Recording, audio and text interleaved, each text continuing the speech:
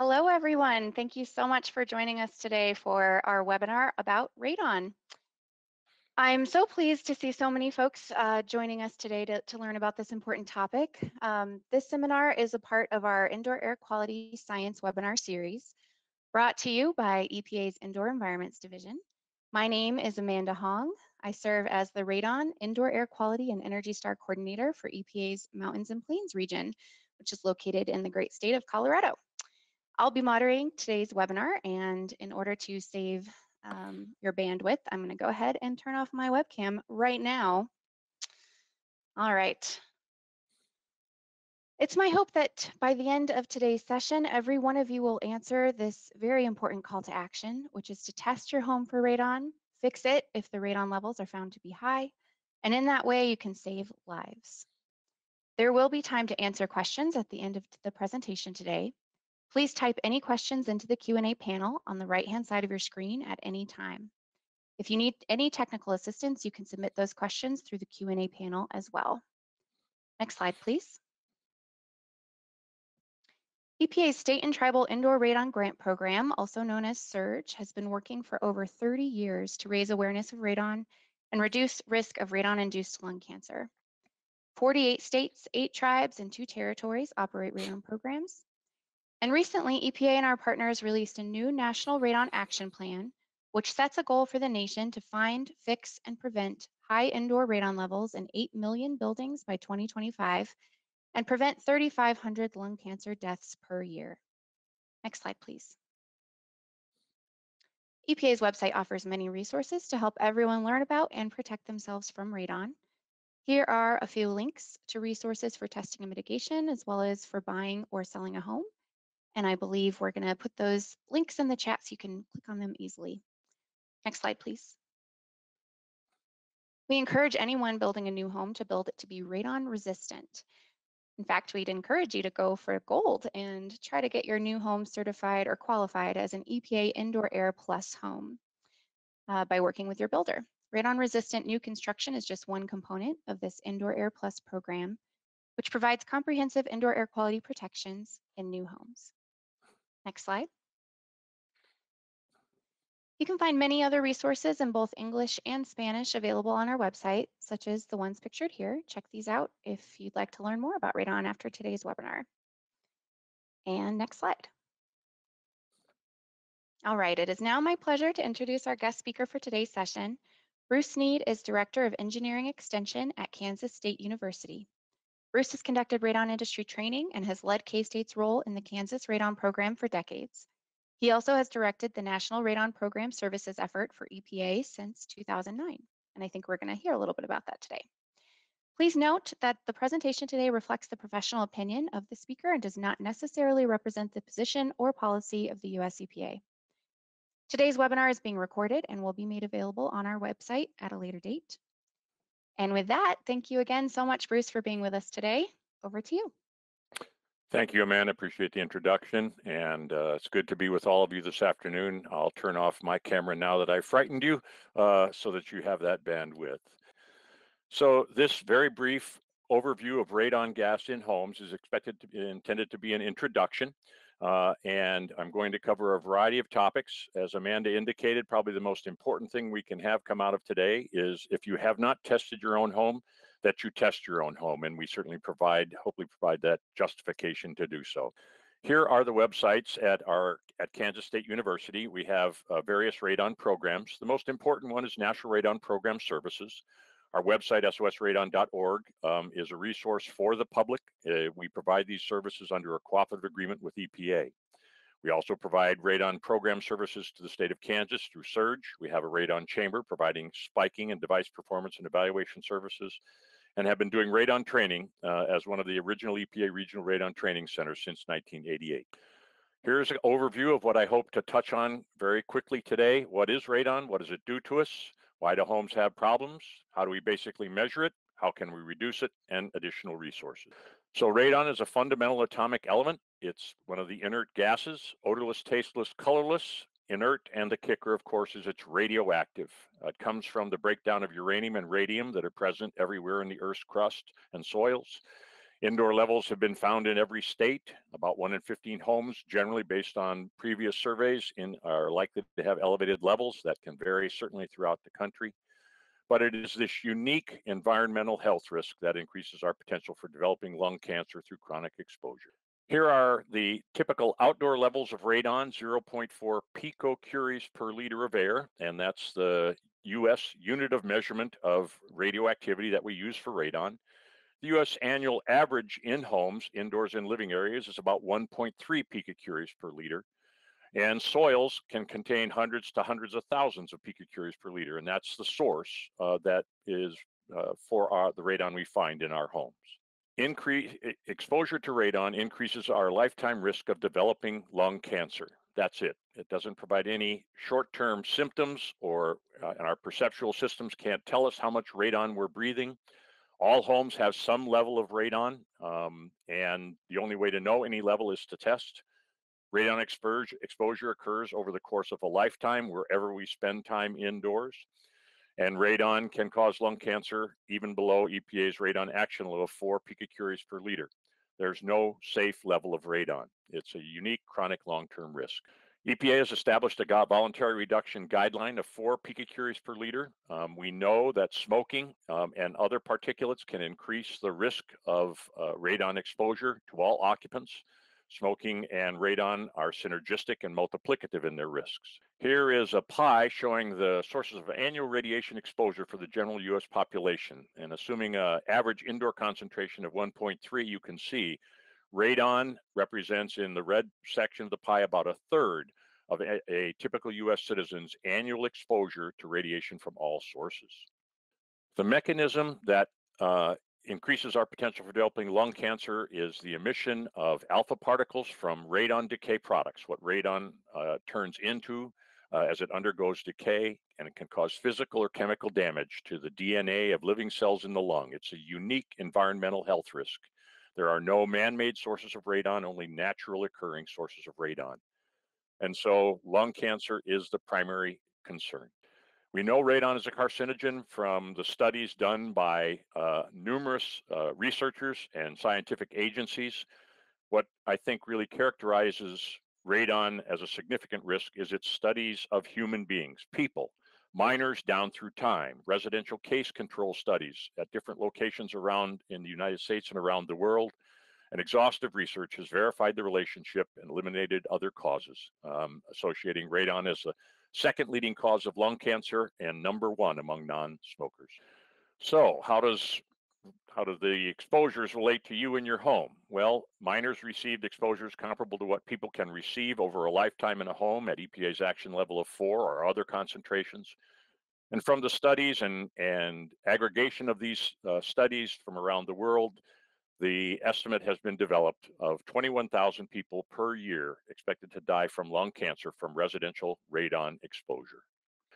So what are your chances of getting lung cancer? Well, are you a smoker? Have you ever smoked? Certainly is fundamental to that. But then what is the history of radon exposure? How much radon is in your home now? How much radon was in the homes you've lived in since birth? How much time do you spend there? And of course, genetic predisposition to certain cancers uh, may play a role as well. But it is our history of smoking and radon exposure that uh, affects our potential for lung cancer. The radon level we find in any structure or home depends on these five things. How much radon is in the ground near the home, the source strength, how easy it is it for the radon gas that's formed in the soil to move through the soil beneath the house? What are the air pressure differentials or vacuums that pull the house, pull the gas up from the soil into the home? How uh, tight or leaky is the house? How quickly and how much air does the house draw from outside when it's closed up? And how many pathways does the air have, the soil gas have from beneath the foundation into the home? These five factors come together to determine the radon concentration. Buildings create vacuums, air pressure differentials, and this is especially true when we heat our homes. Um, they are uh, this your house looks like the one on the left but actually works like the one on the right and this draws the gas from the soil into our homes the pathways through which this atomic element, this gas, can pass are shown in this slide. Exposed soil and crawl spaces, gaps and cracks in the foundation, utility penetrations, open sumps. It doesn't take much for a radon atom to find its way indoors um, through these pathways. So we can't predict radon levels by house age, heating system, foundation type, ventilation levels, presence of sump systems, cracks, or other features. The only way to know the radon level anywhere is to test. We can't predict radon levels. So um, there's a home. That's a product um, that uh, probably the most significant purchase any of us ever make, the largest dollar expenditure. And warning, this product contains an unknown level of a class A known human carcinogen. Testing before buying is essential to avoiding exposure real estate testing is where most of the testing occurs um, for radon in the marketplace. We measure radon in picocuries per liter of air. One picocurie per liter per one picocurie is equal to the decay of two radioactive atoms per minute. If your home has four picocuries per liter of radon in it, there could be up several million decays per minute in a, a thousand square foot house with an eight foot ceiling. If we could make radon decays visible, um, uh, in to our eyes, if we were able to perceive it, um, we would be far more aware of this environmental health risk. There's no safe level of radon. Four picocuries per liter is the action level. Almost all radon problems can be easily fixed. We'll see that briefly here in a minute. And levels can get reduced to be to, to below four, many times to below two, and even below one. And there are standards that have demonstrated success. Radon is almost always a negotiable item in real estate transactions as it's a defect associated with the property. How long, how long does radon testing take? The common test durations are short-term tests of two to seven days. A long-term test is three months to one year. Both short and long-term tests can give us accurate results and properly done, uh, especially by radon professionals, 94% of the time, short-term tests should provide similar information regarding the need for mitigation as a long-term test. A key issue in short-term testing is put the house in what's called closed house conditions. This would be how you operate the home normally if you're heating or cooling. Uh, uh, entry, normal entry and exit is fine. Um, if there's a radon system, uh, radon reduction system, of course, it must be operating. But closed house conditions and following the instructions with the test kit are essential to getting an accurate result. Here are the common radon test devices that are available to the public as well as professionals. We have single-use devices like charcoal canisters and bags, longer-term measurement devices like alpha track detectors, professional devices, electret ion chambers, and continuous radon monitors. And then within the last five or to six to 10 years, we've had consumer digital radon monitors. And these devices are not designed for use by professionals like continuous radon monitors that have been, uh, whose evalu performance has been evaluated. But there are many consumer digital monitors uh, on the marketplace as well. And anything that increases the amount of testing that occurs is desirable.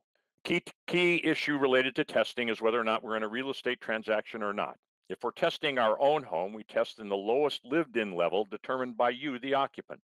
If we're in a real estate transaction, we're assessing the potential for elevated radon in the structure, not how someone uses it. And of course, in real estate transactions, we always recommend the use of an independent radon certified professional to conduct those tests as part of a home inspection or as a separate service. One of the issues that's been determined in Illinois and Minnesota is that test if you test in only one foundation zone, and there are numerous foundation zones as you see in this slide, you might have elevated levels of radon in one of the other two foundation zones.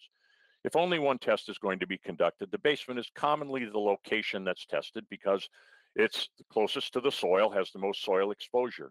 But that doesn't mean that in crawl space, above crawl spaces or in a slab on grade, you could not have elevated levels of radon as well.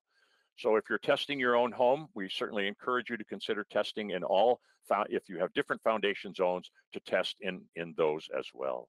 So all of you should test your homes uh, and hopefully you already have, but if you haven't, encourage you to do so. The good news is if you find elevated levels of radon, there are standards and techniques available that can reliably reduce radon to less than four installed in, a, in one day by qualified contractors they take effect as soon as 24 hours after the systems are turned on.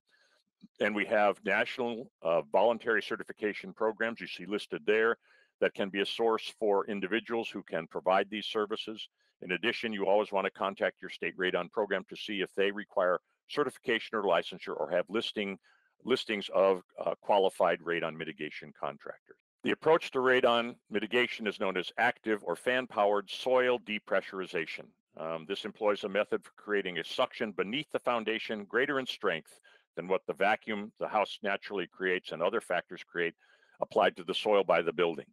Caulking and sealing is always helpful, but not a standalone technique. And ventilation approaches have generally in residential structures proven more costly and less effective than ASD as it's known. Here you can see the most common kind of systems that are installed in homes. Outdoor systems where the fan is outdoors. Indoor system indicates where the fan is de uh, deployed either in the attic or uh, above living areas. Their standards speak to where the fans can be located, and they are almost always they're going to be either outside or above any living area, never inside uh, the living area or beneath the living area of the home. We also have a need for a system indicator that tells us that the fan is operating. The fan runs continuously to draw the radon from beneath the home and vent it into the air above the home, as you see in the diagrams. Here's a couple of close-up views of system monitors and labels. These are the key consumer interaction points with radon mitigation systems. We want to see some kind of a system monitor that provides a visual and can also provide an auditory indication of performance. And as long as you see one side of this oil, either blue or red in these examples, lifted higher than the other side, that indicates the fan is operating and should be maintaining low levels of radon. You can also see other information and labels that help a consumer understand what the mitigation system is and how it's supposed to be uh, read and understood. One of the key concerns for radon mitigation systems is proper venting and the ANSI R standards that I'll share with you briefly in, a, in another following slide provide these guidances for distances for the discharge of this class A human carcinogen. I won't go through all these different um, uh, distances and what they mean, but you can see the goal here is to discharge above the roof away from any opening that might allow radon to be drawn back into the, the home through a window or door. Here are some additional guidances related to the height above the ground or the distances that are increased because of the nature of the discharge cap, either a 90 degree cap or a rain cap that's put on these systems. We don't recommend rain caps, um, but if you do, you should follow the standards for proper venting and your mitigator, mitigator should know these. The good news is these systems many times take effect almost immediately. Um, you can start a post mitigation test to verify that levels are being reduced, have been reduced as soon as 24 hours after the system is turned on. You should test again wherever the initial test, pre mitigation test was done. Test within 30 days after the system is turned on, and it's recommended that you retest every two years to verify that levels are still low and check at least weekly or monthly that the fan is continuing to operate. This is a chart that shows in brown the pre-mitigation radon level, average 7.9 picocuries per liter, and in green across the bottom, a plot of the post-mitigation radon level achieved by this system, which was 0.9. This is excellent performance. You can also see that radon fluctuates. Radon is a dynamic environmental phenomenon affected by weather and temperature and a variety of, of driving forces and factors. Eh, but it commonly fluctuates within a range like you see here, Again, the average is what we're most interested, not necessarily the peaks or valleys. We can build new homes to be to enhance the chance that they may be radon resistant by incorporating techniques such as you see described in this graphic. I won't go into these in detail given the time, but again, if we uh, properly install a venting system when we build a new home, it may be possible for the home to naturally vent radon without a fan but a fan can always be added later on to um, uh, achieve the desired level of radon reduction. A passive system, as it's known, one that vents the radon naturally, works because of the temperature differential between the air in the home, 70 degrees, and the soil gas. And if we properly design and install the system, it may actually maintain low levels. But the only way to know, again, is to test once the house is suitable for occupancy. A fan can be added. This is just an indication showing uh, a, rated, uh, fan in the attic, and many times the fan that can be added to a, a uh, newly a passive system, as it's known, um, is one of that has the lowest wattage, moves the least amount of air, and is the most economical to install and run. And then, of course, we would add a system monitor to let folks know that the system is functioning.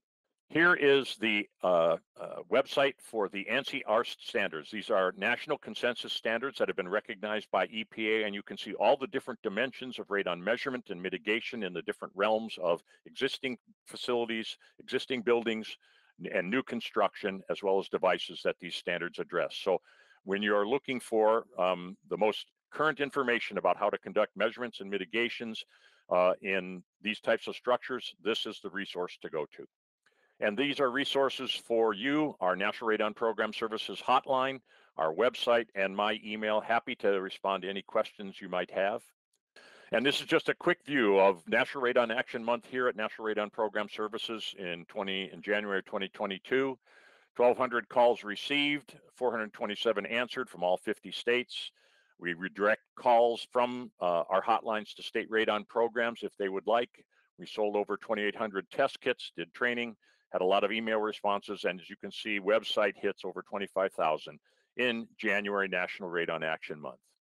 Thanks so much for having me uh, share this information with you. I hope it's been productive. I know it was fast, and I'll stop now so we can turn to questions. Thank you. Thank you so much, Bruce. Excellent presentation. I really enjoyed the uh, consumer product safety warning, especially. I really love that. That was great. Okay, we've we have had several questions come in. Just want to remind everybody, like the slide says, please put those additional questions into the chat feature now. Uh, we have seven minutes left, so we're going to try to get through some of these questions before we sign off. The first one we've got, get to the right screen. Uh, Bruce, where can people find guidelines with options and instructions for addressing high radon levels in an existing home? Um, certainly, you can go to EPA's website, the Consumer Guide to Radon Reduction. You can go to um, sosradon.org and look up uh, mitigation, radon mitigation, um, to find information and resources. You can go to the uh, AARST ANSI website. The, all those standards are publicly viewable, um, and they're um, they are detailed information about um, the best practices and recommended uh, uh, ways to reduce radon. Um, but the Consumer's Guide to Radon from EPA is a great start to better understand what radon mitigation is all about.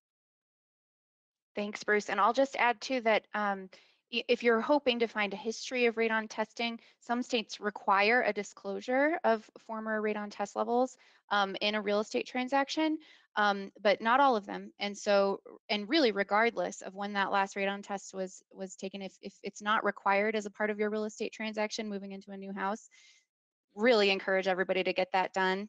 And then every two years, go ahead and test it again. Make sure that those levels are still low. All right, question two is, uh, Bruce, does radon infiltration vary over time? What would cause the radon level in my home to change?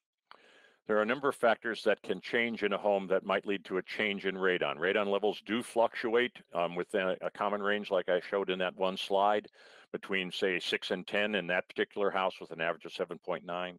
But for example, if you insulate your home, add insulation, tighten up your home, replace your windows, change the ventilation rate. If you swap your heating and cooling system, that will change some of the pressure dynamics there.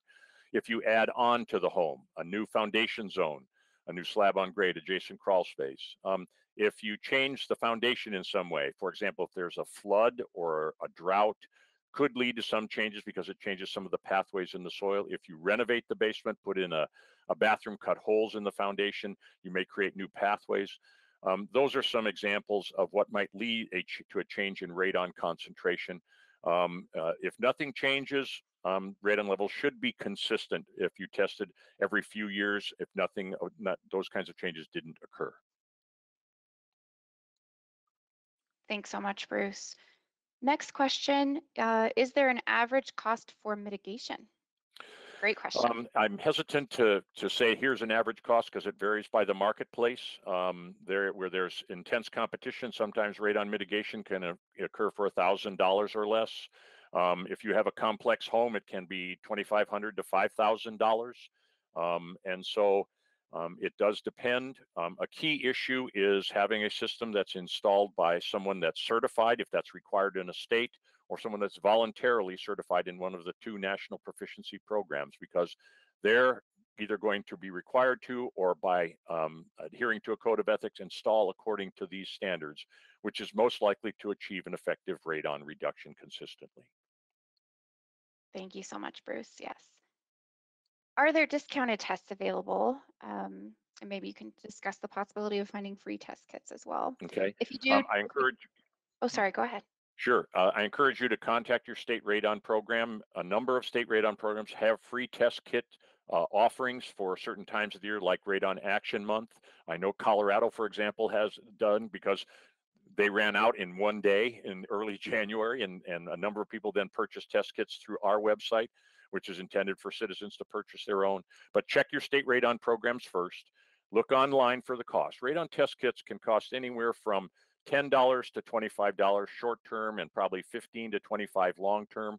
Um, and th- th- that's everything, all costs included. When you buy a test kit, you want to buy something that includes everything shipping, mailing, receiving, the report, etc. Um, and uh, just read and follow the directions with that test kit, whether you get it free or you pay um, a very reasonable price for a single use type test kit. Perfect. Thank you, Bruce. It really is inexpensive to test your home. Um, and that kind of feeds into the next part of this two-part question, which is if you do test high, are there financial assistance programs available to homeowners for mitigation? And before you answer that, Bruce, I'll just say that, for instance, here in Colorado, uh, there is a low income mitigation, uh, radon mitigation assistance program um, that's fairly new. It's just a few years old. Um, so there are some states uh, that do have those programs available. You'd have to follow up with that state program coordinator. Um, and I'll go ahead and find that link from EPA and drop that uh, in in the chat box as well, because that that's probably your easiest way to find uh, your proper contact. Did you want to Yes. say anything about that, Bruce? Sure. Yeah. Um, Colorado's a great example, but it's a rare, rare one. This has been the biggest challenge, especially you tell people to test their homes, you give them a free test kit, they find high levels of radon. And now, okay, how do I pay for mitigation? Well, um, it, it's uh, it's not much more than many other common home repairs, but we know it can be challenging. There are no sources of grants or funding, uh, significant funding that I know of from across the country to help with typical radon mitigations. Most often they're occurring as part of a real estate transaction. It's a negotiable item. Um, buyer sells, uh, buyer or sellers may pay for it depending on whether it's a buyer's market or a seller's market. But um, unfortunately, there are not grants. My dream is that one day doctors will be able to prescribe a radon mitigation system as a means to, to reduce the likelihood of someone developing lung cancer. That's that's what I hope might happen eventually. It's a it's a pipe dream, perhaps. Thank you so much, Bruce. I, I think that's a great question. Um, we do have more amazing questions, and unfortunately, we are out of time. Um, but remember, Bruce shared his contact information. Uh, we have uh, contacts on EPA's site. If you go to our website, epa.gov slash radon, you can ask us a question there. We'd be happy to follow up with you and answer all of your questions on this very important topic. Thank you so much again, Bruce, for your excellent expertise and, and sharing that with us today. And thank you to all of our present, um, I'm sorry, our participants for joining us today as well. We hope you've learned a lot. And again, answer that call to action, test your home today, get it mitigated if the levels are high and save a life. Great. Thank you so much, everyone.